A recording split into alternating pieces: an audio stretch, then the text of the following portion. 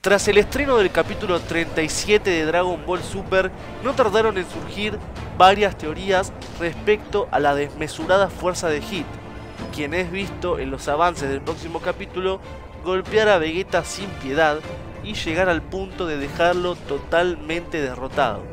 A continuación te voy a mostrar algunas curiosidades y algo más de los avances del capítulo 38.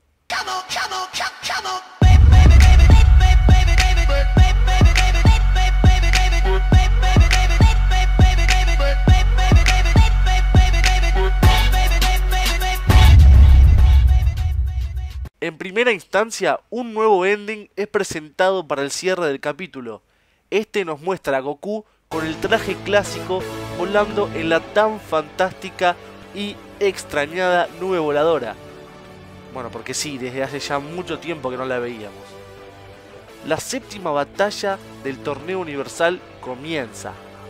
Champa solo tiene a su último integrante, quien es considerado el guerrero más fuerte del universo, mientras que Bills aún dispone de tres impresionantes guerreros como Vegeta, Monaka y Goku.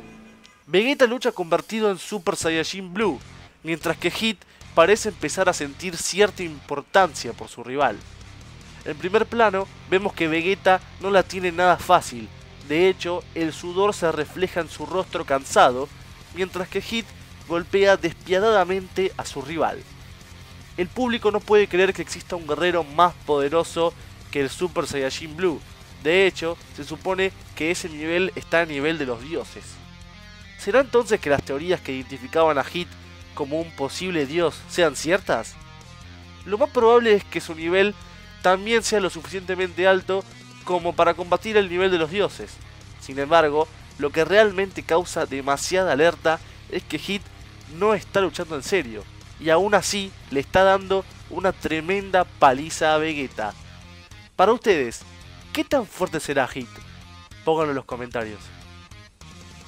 Pero lo aún más extraño es la habilidad de la cual dispone, pues en efecto su habilidad estaría basada en la misma que utilizó al derrotar a Frost, mientras que Vegeta parece durar al menos un poco más de tiempo. Cruelmente, el Saiyajin sigue siendo atacado sin piedad, mientras que su rival no tiene ningún rasguño, o al menos eso nos da a entender el avance. Otro dato interesante es que por fin vemos sangre en Dragon Ball Super. ¿Será que el cambio de nuevo director ha sido para bien? Ya que la integración de sangre en las batallas es una increíble estrategia para engancharnos más en la serie. Lastimosamente, esta vez la sangre proviene de Vegeta. Increíblemente se ha revelado que la próxima batalla sería entre Goku y Hit, o al menos un scan de la revista Psycho Jump reveló que este enfrentamiento se daría de todas maneras. ¿Vos qué opinas al respecto? ¿Te lo vas a perder? Y bueno, gente, hasta acá el video de hoy.